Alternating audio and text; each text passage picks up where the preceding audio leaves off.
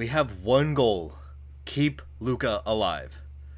We have one option, so we know it has to be an option that keeps him alive. We have to bust out the strange. Well, time to bust out the strange. Everyone else, expendable. As long as Luka's alive, that's all that matters.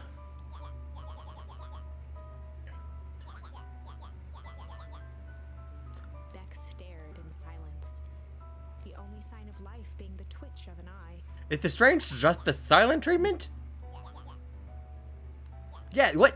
How is this the strange? At the sight of Iggy taunting Beck, something in Luka snapped Yeah, Luka, push him in the pool. to a look of shock as Luka launched himself into his stomach. Iggy's clothes were drenched in the glowing ooze. Iggy's a dead man, so that's one kid down.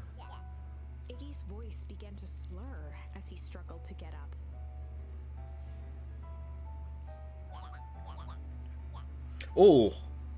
Okay, wasn't expecting that. I do feel pretty guilty about that. Uh. Yeah, I mean, that wasn't exactly the plan I had intended. Uh, I figured you were gonna die, gonna be honest, but hey, Luke is alive. That's all that's important. That was pretty intense. We just killed a kid.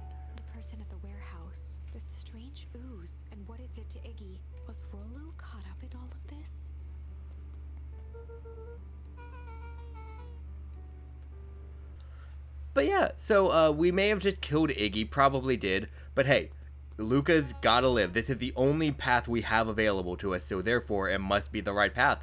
Therefore, sorry, Iggy. Also, I don't trust this guy. Like, look at that smirk on his face.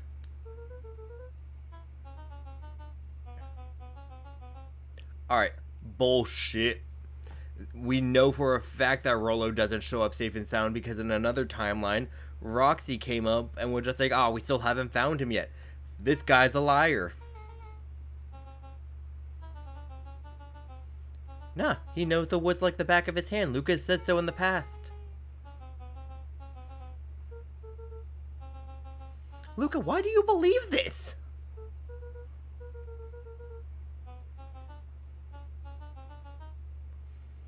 Oh, the grandmom's definitely gonna try to kill us.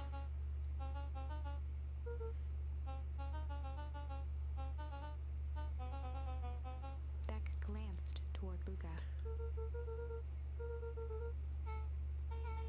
Alright, all's well that ends well. No, that does not end well.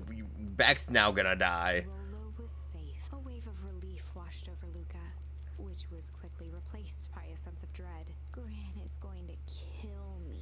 Me. Alright, I feel like that's some literal foreshadowing. I mean, she's. If he hurried, he might just make it home before sundown. I feel like she's going to literally kill us. Our harvest awaits. Luka took a deep breath and gingerly opened the door, steeling himself for Gran's wrath. But hey, we might finally be able to actually see the festival. Let's see. Oh, where's the granny? Yeah, I feel like he has a really good excuse for why he left. His best friend was missing. Yeah. Alright, so she's gonna be up in our room waiting for us and she's gonna kill us. Maybe this is the wrong way after all, and I don't even know what I could do. Luka was alone. The house was empty. Alright, so now I'm 100% convinced that that hyena looking dude is evil. He told us to come here, so he's gonna have his henchmen come and get us now after he got Beck. Don't go to bed! Dude! By the pond, listening to small waves lap against a rock. Oh, that's a good. father sat in a folding chair in front of him. Oh, I feel like this is about to get dark. He spoke. Why don't you grab me some nice bait? Sure thing, Dad. Luka hopped over to the tackle box and popped open the lid. I trust nothing in this game anymore after what it's been doing. Inside was a rolling, buzzing mass. Ew. Fishing with bees? Yeah. Luka's fish with bees than honey. Pick us out a good one. That's just not true. And plucked out a bee. He could feel its wings struggle between his finger and thumb. Holding it at arm's length, he hurried over. His father deftly baited the hook and examined his work. Why would he reach into a big mass of bees and like why? What? Interesting choice. With a practiced flick of the wrist, the line buzzed in a graceful arc. The water accepted it without a splash or ripple.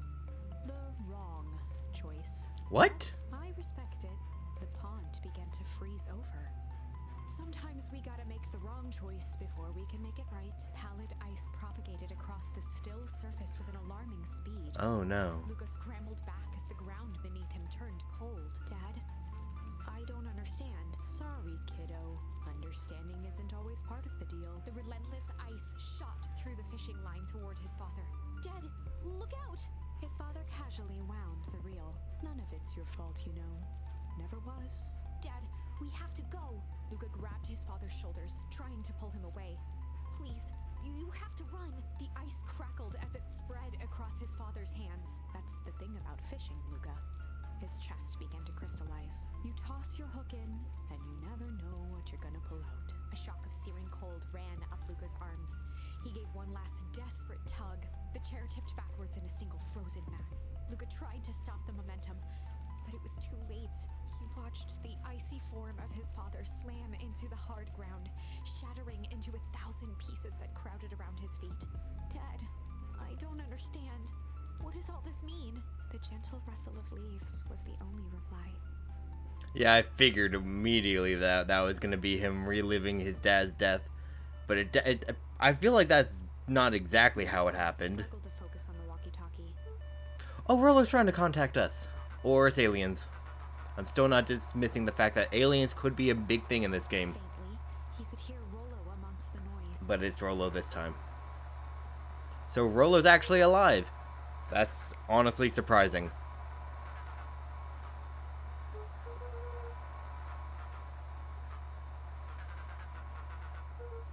Rolo's voice was coming through more clearly now. Alright, so he 100% is kidnapped, and is definitely by that hyena looking dude. Yeah, of course.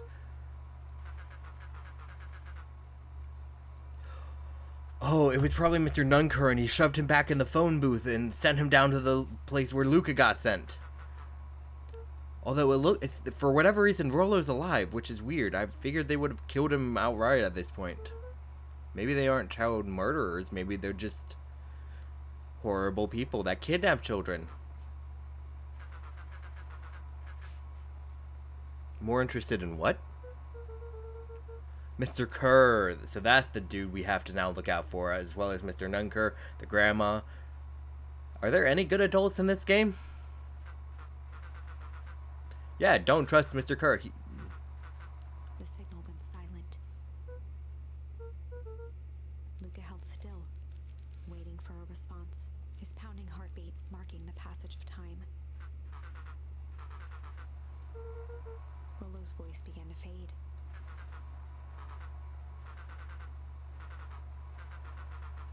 Oh, the treehouse would be a safe place. No one would know where it is, and it wouldn't be at the house with the grandma. So, The signal died. honestly, a good place to hide, I think.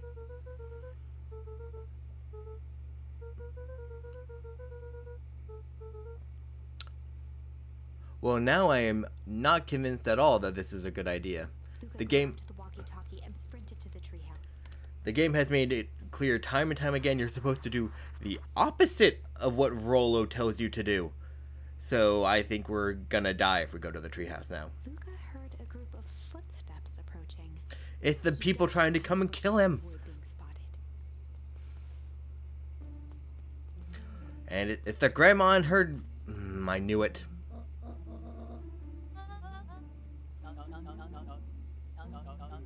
Mr. Tolliver paused, shifting his eyes to one side. So maybe that guy's gonna be easier to fold. Like the other two do not seem like they're gonna fold. Even the grandma looks like she's determined. Like, all right, time to kill Luka.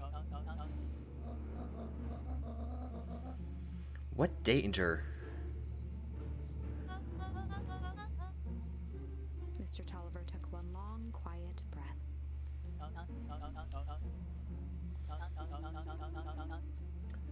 Okay, so they're not working with the Valentines. That's actually good information. We know we can trust the Valentines now.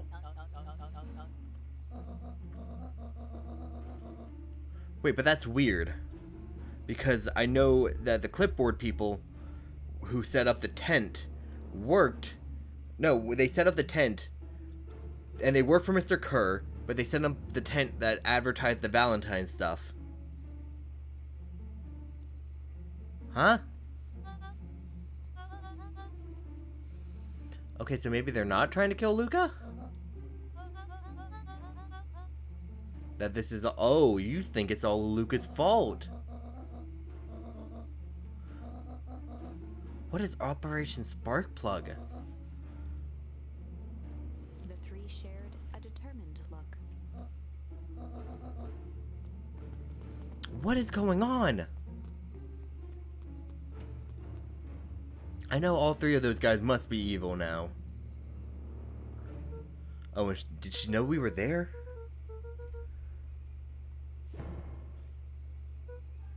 Hello, Batman. Batgirl. Why is your name Dawn? I. That still bothers me.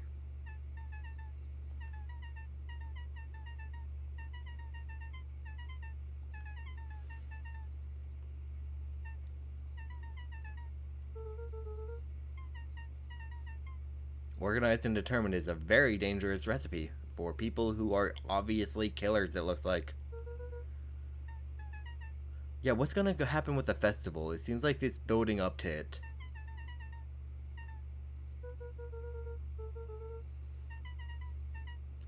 Ooh, so that means that- Tolliver dude is definitely in on it if he called her and then told her about Rolo, essentially. Yep, those guys are all in on the kidnapping. Yeah.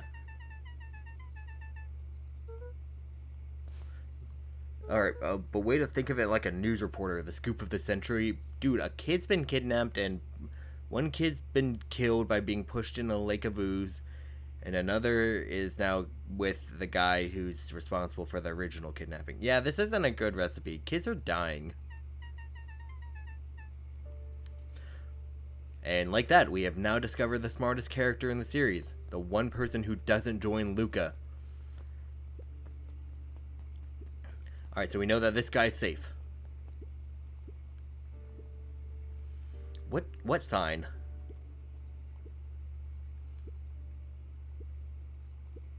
The two boys shared a mischievous grin. I'm looking forward to seeing what little prank they pulled off. I feel like we can, since we know we can trust the Valentine boy, it must be an actual just like thing to mess with people. It looks exactly like they haven't touched the festival sign, so I don't know what they are talking about. But hey, and why is the treehouse light on? I don't trust this. I don't trust this. Wait, does anyone else see the thing in the corner there? By the rocket? Behind the rocket? Like, it looks like it's gonna ha- something's gonna be there. You, how do you still trust Mr. Kerr at this point, dude? It's very obvious he's evil.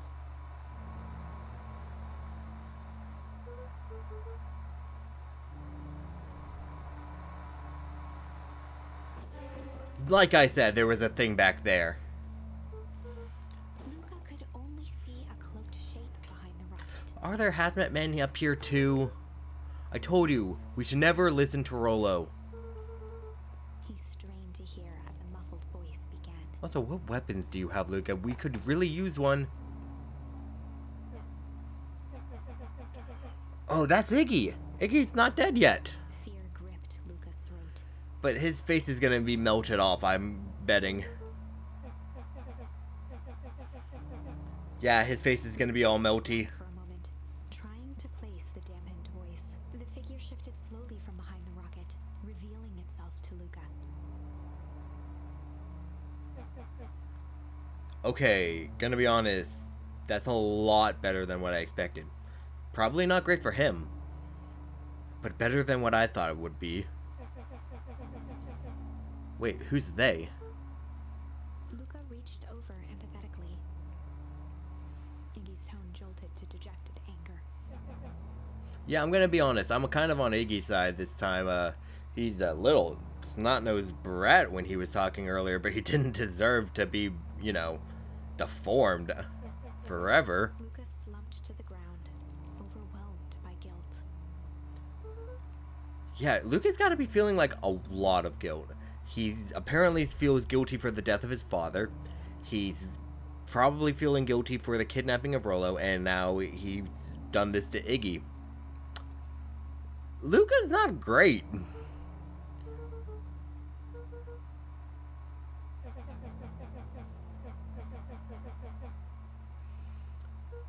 That's not a bad way to say that, Iggy. I'm just gonna put that out there. Okay, but like, do not dismiss the power of friendship. Have you ever seen an anime? It always works. Who's they? Please explain! Thank you, Luka, for actually asking a question. That is relevant. And of course, we're not going to get the answer. Because of an interruption from Rolo. Called it. Who's they?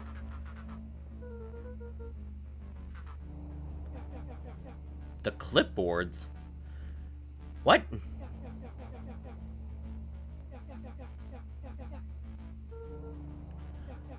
You're afraid of those guys?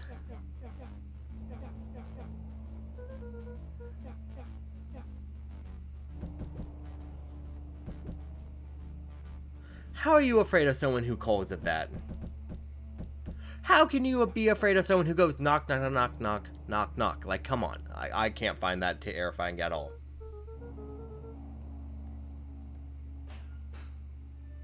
Alright, I find it a little terrifying when they all have the cult. I made that joke and I didn't think it would come true.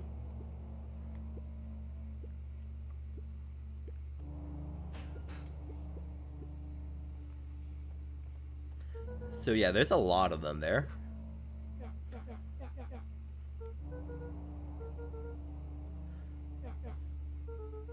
Okay, but if that's all of them, then how small is that company? Like, it looks like they have a lot of resources, but that's all their employees? That's not that many. Okay, but we can't tell it's creepy. Okay, yeah, they definitely want Iggy slumped to his knees. Alright, so I'm guessing we're about to be presented with another choice. We either give up Biggie and save ourselves, or we try to help Biggie and we kill Luka. Like I said at the beginning of the episode, we're keeping Luka alive.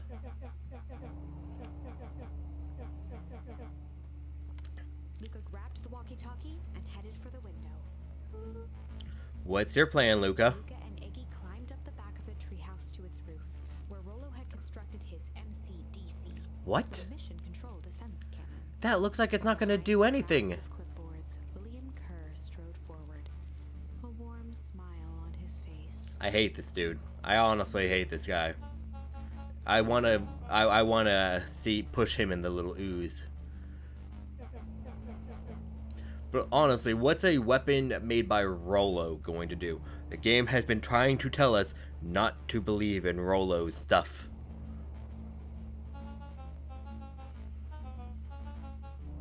How are you gonna help? You're gonna help him by killing him, I bet.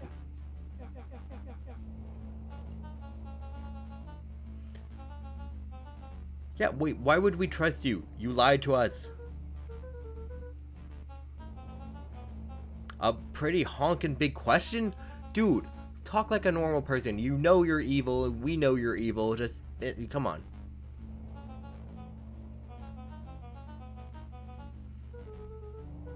Yeah, you lied to us.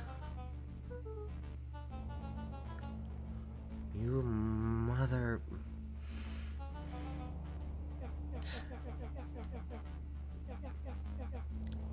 Dude, I kind of like Iggy. Maybe he's a good character.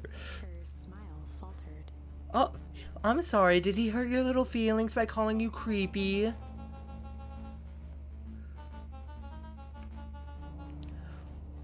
Is with this guy? Luka's grip tightened on the MCDC.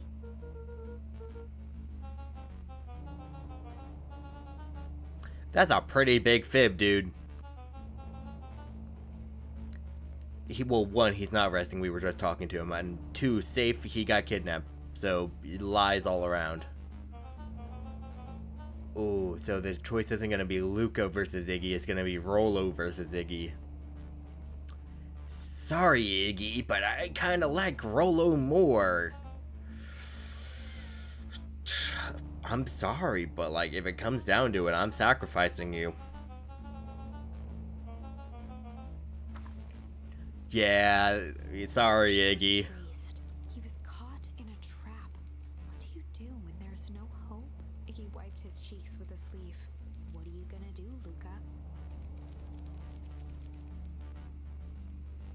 Oh, whenever it's a one answer thing, you know, that means we're gonna die. And decided to take the only option they had left. Fight. Also, how are you gonna fight all these guys? Full defense cannon around, aiming it confidently at the smirking face of William Kerr. Dude, that looks like it can't do anything, and it was made by Rolo. How do you have faith in this?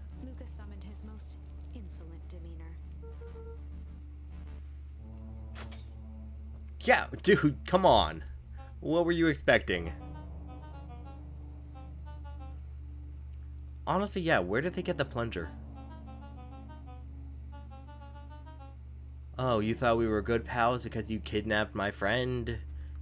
Kerr turned his back on the two boys.